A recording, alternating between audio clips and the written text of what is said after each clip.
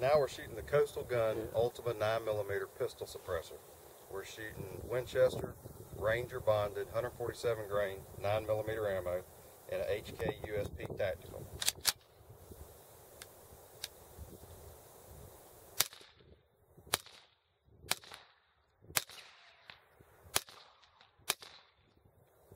That's it.